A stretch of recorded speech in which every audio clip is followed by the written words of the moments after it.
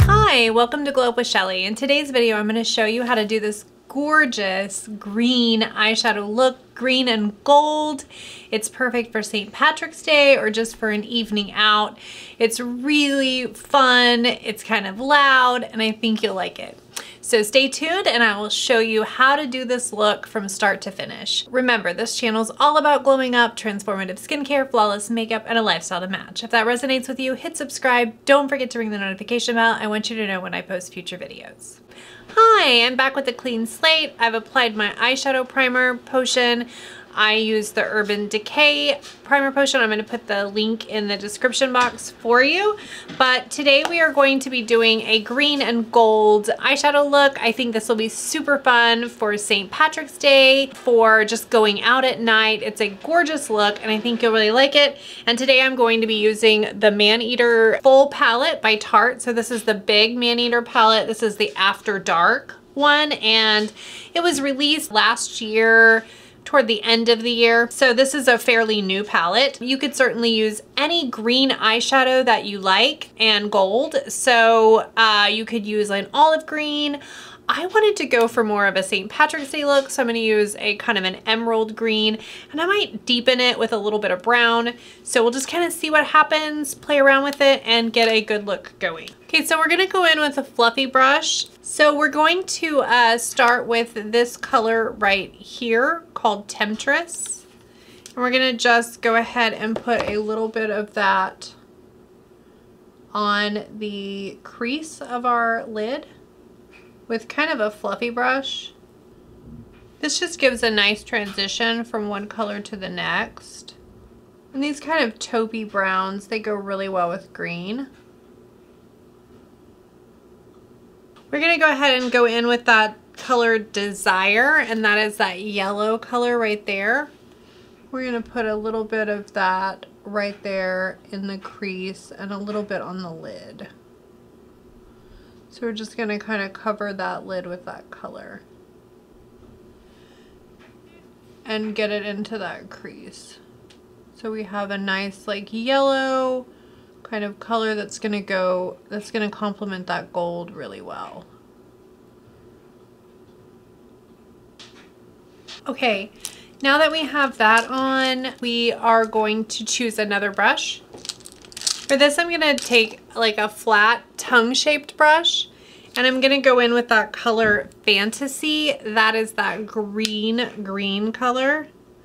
And we are going to pick up a little bit, tap off the excess, and we're gonna go in starting at the corner of the eye. And just build up that color in a V at the corner of my eye.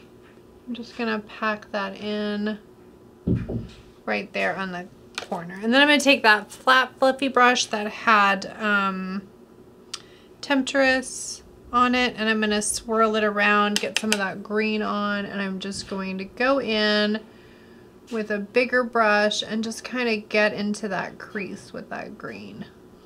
And for this look, we're going to go into the front of the eye because we're going to create kind of a halo effect. So remember to just tap off the excess. We're going to go in with that kind of tongue-shaped brush again, and we're going to really pack that color on in the front as well. And so we have that green all over the lid, and then we're just going to kind of clean it up and blend it into the brow bone. And kind of leave it like that. And then we're going to do the same thing on the other eye. Okay, so we have that green kind of all over. And now we're going to take kind of a fluffy brush with no color on it.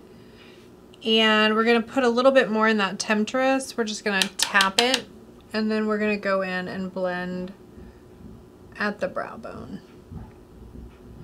Kind of blending it out a little bit.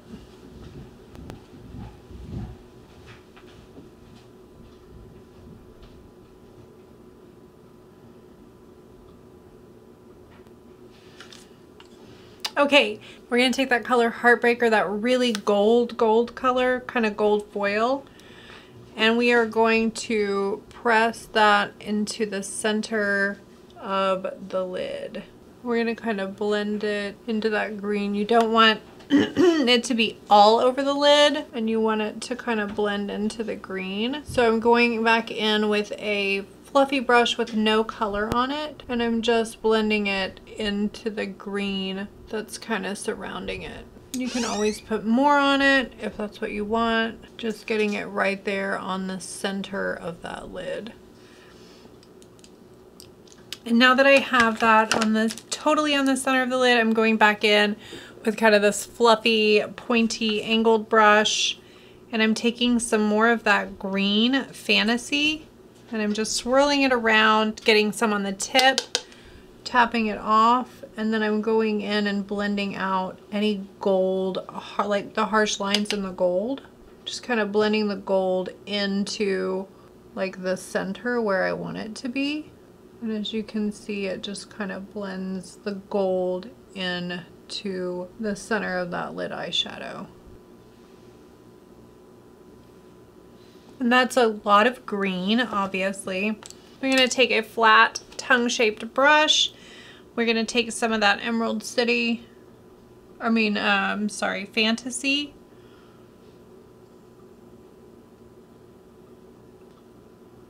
We're gonna just like line the lower waterline with it.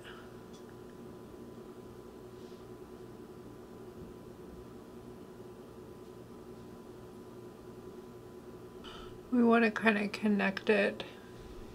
We put the um, green on the water on the lower lash line and so now we're going to take that same brush and we're going to dip it into the Heartbreaker, that gold.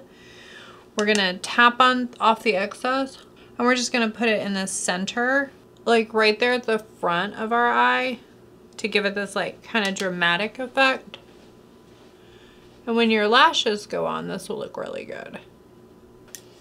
Okay, so let's clean it up a bit before we go ahead and finish the look and put some lashes on. So I'm going in with my Tarte Ultra Creamy um, Concealer. And I'm going to just kind of go along the line of where the green is. I don't want to get it where my contouring is. So I'm just kind of going up along that line. And I'm just trying to like clean up create a lift, like a V-shaped lift, and then just clean up any harshness, and then I'll blend it back out into the rest of, first we want to just kind of clean it up. And I do this, I have hooded eyes and maybe it's the technique I'm using, but I just really like to do this. It gives my eye lift. It makes it look like the eyeshadow is not too much. Um, I really just like kind of cleaning it up around and then blending it, but you can do it whatever way you want. Um, so I just wipe this off with a towel, get all that concealer off, get all the eyeshadow off, and then I go back in and I kind of blend it in together. So now I'm gonna go back in. I'm just gonna blend out any lines I might have in that concealer. And once that dries down, you'll be able to really manipulate the eyeshadow more.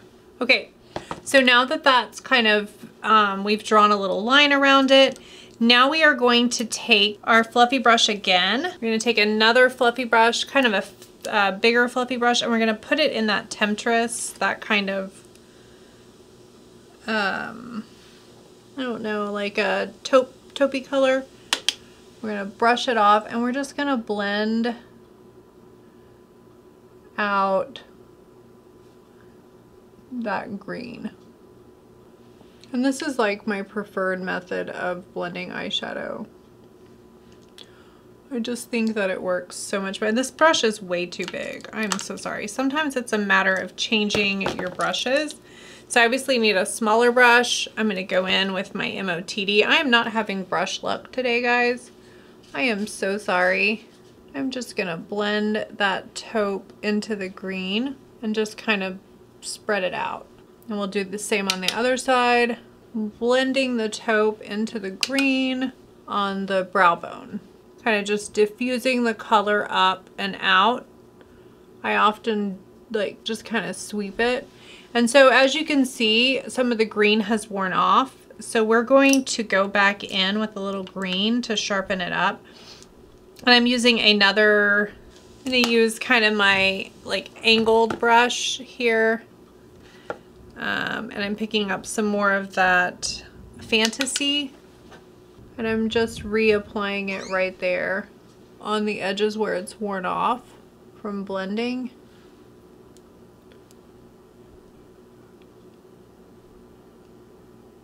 And then I'm going to take that, that MOTD brush again and I'm just going to kind of flick and blend it out. And I didn't put any other, any additional color on this.